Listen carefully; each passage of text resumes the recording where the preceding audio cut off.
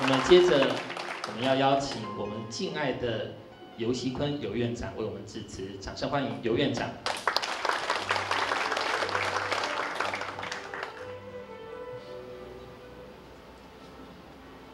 吴董事长、吴校长，还有陈委员、县长夫人、啊江市长，啊啊江乡长啊，呃各位贵宾，啊各位女士、各位先生，啊大家午安。午安。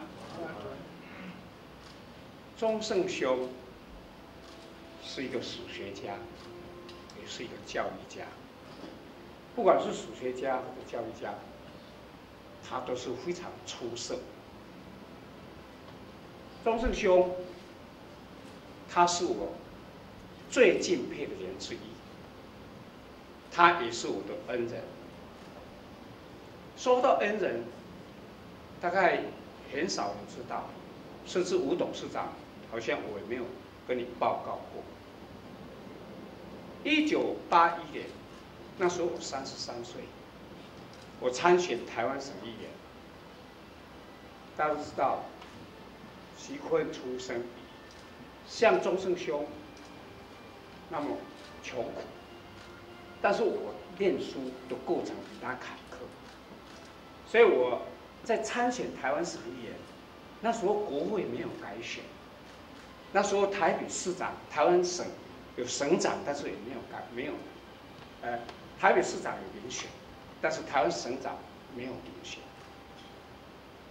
立法委员虽然有增补选，时间都很少，所以那时候省议会是台湾的政治重心，政治重心。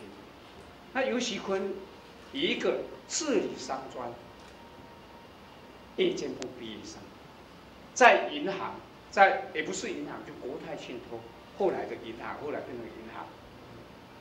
一个小职员，叫什么办事员？办事员，他的最低级就是助理员。那我是助理员，在升办事员。一个这样的出身背景，那要参选台湾省议员，很多人都讲是亮丽。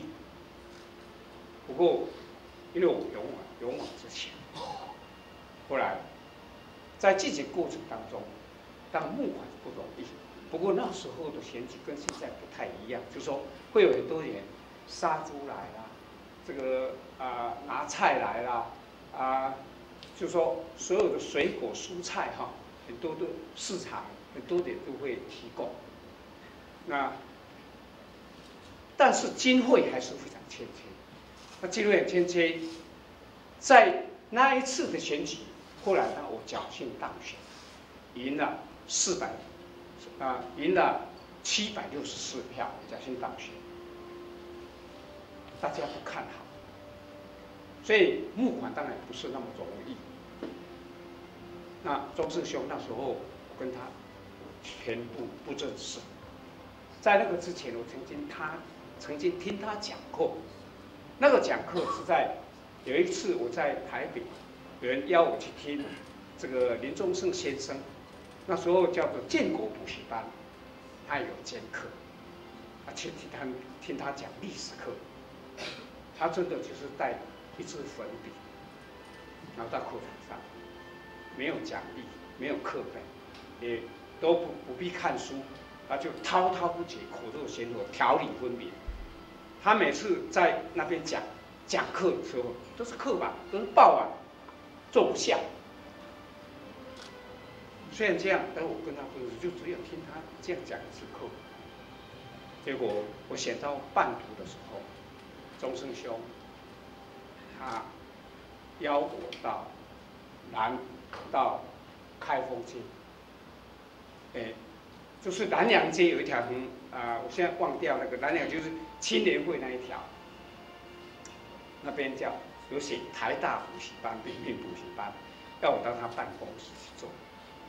做了这个聊了一下，他关心一下，就是说选举的选举怎么样？啊，关心了以后，我先讲我那一年那一次选举，一九八一年，我全部花全部募款就是九十五万，啊，九十五万，那我当选，当选，啊，这九十五万里面，钟胜兄拿给我十万，那时候十万是非常大的一笔钱，可以说，在我的竞选经费捐款里面，他那一笔经费是最大的，可以看得出来，钟师兄他虽然那时候他人在台北。忙于经营事业，但是他对故乡、对台湾的民主真的非常关心。所以钟师兄他不但是我敬佩的一位长者，而且啊是有冤于我，是我的恩人。我借这个机会向大家报告，表达我对他啊诚心的感谢。那后来啊也非常感谢他，在我当县长任内，大家都知道。我当县长的时候，那雪山隧道还没有通车，那时候依然还是鳌山，但是张世轩愿意回来回乡来创设这个惠登中学，啊，这个等于对对当县长的人啊，也是帮助非常大。大家知道啊，一九九七创办，我是一九九七年的十二月二十号县长卸任。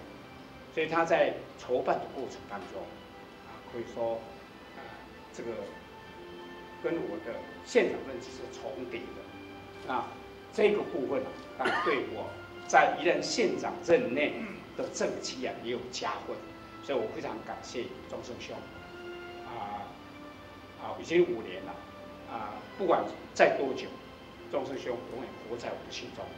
最后祝大家健康，大家谢谢。掌声谢谢尤院长。